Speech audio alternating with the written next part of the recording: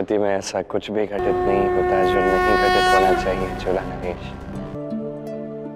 आपके इस प्रहार के कारण मेरे रूप में जो त्रुटि हुई है, वो आने वाले समय में अनेक भक्तों के लिए मेरे आशीर्वाद का मार्ग बनेगा। तब जब वो अपने केश मुझे अर्पण करेंगे,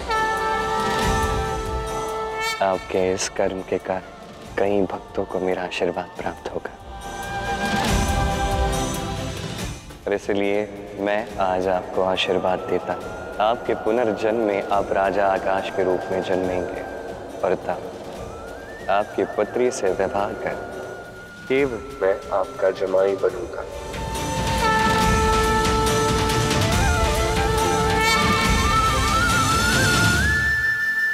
नारायण ने मुझे पिछले जन्म में आशीर्वाद दिया कि वो मेरी पुत्री पद्मावती से विवाह करेंगे। और केवल मेरे ही जमाई बनेंगे। इसका तात्पर्य श्री निवासी नारायण। हाँ राजा। श्रीनिवास ही नारायण का स्वरूप है। और इसी कारण राजकुमारी पद्मावती के स्वयंवर का आयोजन करने के पश्चात भी राजकुमारी पद्मावती का विवाह अंततः श्रीनिवास से हुआ। ये कैसे संभव है ऋषिवर श्रीनिवास, नारायण कैसे? राजन, कई बार सत्य हमारे समक्ष होता है, किंतु हम उसे देख नहीं पाते। सोचिए, श्रीनिवास हर गुण में इतना निपुण कैसे है? फिर चाहे वो नृत्य कला हो या ज्योतिष शास्त्र ऋषि भृगु ने राजकुमारी पद्मावती के स्वयंवर के लिए जो तिथि दी है, वो तिथि अनुचित है। और स्मरण कीजिए, वो महाविष्णु धनुष, जिसकी प्रत्यंचा स्वयं श्रीनिवास ने खींची थी।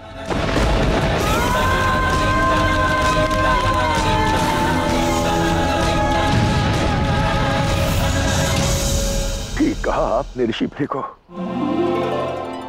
दोष मेरी ही दृष्टि में था। सत्य मेरे सामने था किंतु मैं उसे पहचान ही नहीं पाया। श्रीनिवास ही साक्षात नारायण है। मेरी पुत्री पद्मावती का विवाह साक्षात भगवान विष्णु से हुआ। और मैं मैं उन्हें पहचान ही नहीं पाया। मैं समझ नहीं पा रहा हूँ ऋषि ऋषिवर कि इस सत्य के दर्शन कराने के लिए मैं धन्यवाद करूँ भी। तो किन शब्दों में? मैंने आपको आपके अतीत के विषय में इसलिए बताया क्योंकि हर पिता को ये जानने का अधिकार होता है कि उसने अपनी पुत्री को किसके हाथ में सौंपा है। किंतु श्रीनिवास पद्मावती से नहीं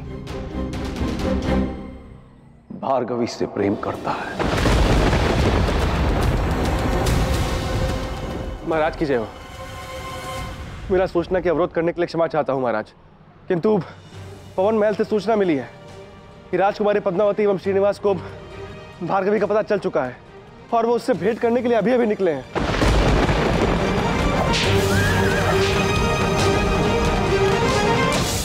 मैंने तुमसे कहा था ना बाला कि भार्गवी की कोई भी सूचना श्रीनिवास तक नहीं पहुंचनी चाहिए। तो किसने पहुंचाई है ये उन तक सूचना? वो उस गोविंद राज ने। राजन यदि आप अपनी पुत्री के जीवन में सुख चाहते हैं तो ये तभी संभव है जब श्रीनिवास के जीवन में भार्गवी लौट करना है और श्रीनिवास और भार्गवी को रोकने का अब केवल हमारे पास एक ही मार्ग है। ऋषिवर मैं कुछ भी करने के लिए तत्पर हूँ। सारथी रथ की गति बढ़ाओ। हमें शीघ्र शीघ्र वहाँ पहुँचना है। क्या हुआ श्री? अचानक शीघ्र क्यों जाना है? सब ठीक तो है तुम इतने अधिक चिंतित क्यों लग रहे हो? मैं बस इतना बता सकता हूँ गोविंद राज कि केवल पद्मावती नहीं है। कोई और भी है जो नहीं चाहता कि मेरी भार्गवी से भेंट हो उससे मिलन हो। किंतु अब चाहे जो कुछ भी हो जाए इस संसार की कोई भी शक्ति, कोई भी शक्ति मुझे भार्गवी से मिलने से नहीं रोक सकती। हे नारायण, सूर्यास्त होने में केवल तीन प्रहर शेष है। कृपा कीजिए, श्रीनिवास को शीघ्र ही मुझ तक भेज दीजिए ना। भार्गवी दाई!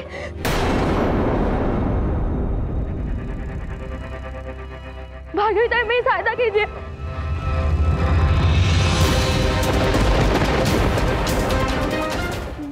मेरी सहायता कीजिए भार्गवी ताई। वो लोग मुझे ले जाएँगे भार्गवी ताई। कौन लोग उमा क्या कह रही हो?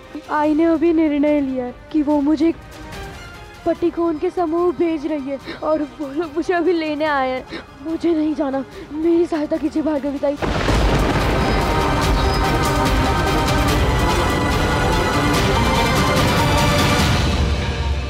तो यहाँ छुपी है। चलो। चल बहुत हो गया तेरा नाटक।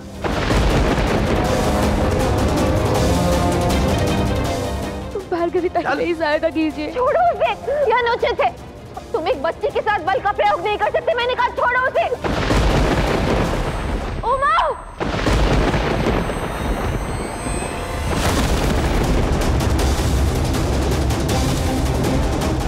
मैंने कहा उसे छोड़ो। छोड़ो उसे। भार्गवी ताई। बोला ना इसको जाना पड़ेगा साथ में।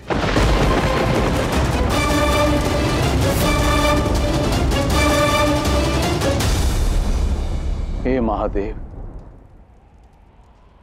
मैं आपका आह्वान करता हूँ।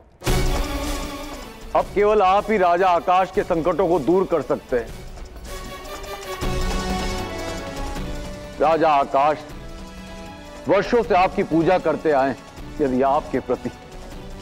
उनकी भक्ति सच्ची है। तो हमें दर्शन दीजिए महादेव। महादेव आप ऋषि भृगु की प्रार्थना नहीं सुन सकते। वो श्रीनिवास और भार्गवी को एक दूसरे से मिलने से रोकना चाहते। और महादेव आप इसे पूर्ण नहीं कर सकते। हे महादेव मैं राजा आकाश की ओर से आपका आह्वान करता हूँ। हमें दर्शन दीजिए महादेव। हमें दर्शन दीजिए। ओम नमः शिवाय। महादेव यदि मैंने आपकी सच्ची भक्ति की है तो आपको मुझे दर्शन देना ही होगा। गौरी राजा आकाश ने वर्षों तक मेरी आराधना की है। उनकी मेरे प्रति भक्ति और श्रद्धा अत्यंत गहरी है। मैं चाहकर भी उनकी इस पुकार को अनसुना नहीं कर सकता। इसलिए उन्हें दर्शन देने तो मुझे अवश्य जाना होगा। परंतु तुम भी चिंता मत करो। मैं उन्हें ऐसा कोई वरदान नहीं दूँगा जिससे श्रीनिवास भार्गवी से मिलने ना जा सके। वचन देते हैं आप? हाँ गौर मैं तुम्हें वचन देता हूँ।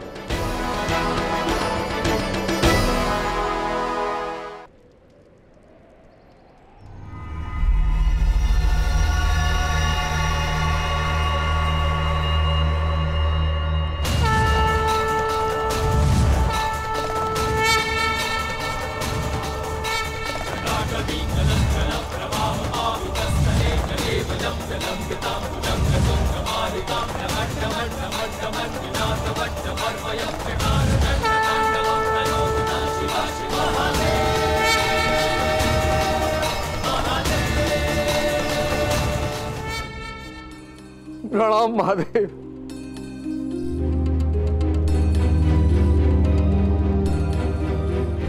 कहिए ऋषिवर किस प्रयोजन से आपने मेरा आह्वान किया? है अब आपके अतिरिक्त इस संसार में किसी में इतनी शक्ति नहीं है जो नारायण को रोक सके। श्रीनिवास ने भार्गवी से मिलने का निर्णय लिया है। अब उसे कोई रोक सकता है तो वो केवल आप हैं महादेव।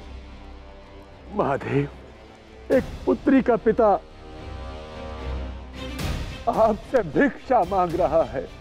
आपको तो ज्ञात है कि मेरे पिछले जन्म में मुझे नारायण ने आशीर्वाद दिया था। वो मेरी पुत्री पद्मावती से विवाह करेंगे।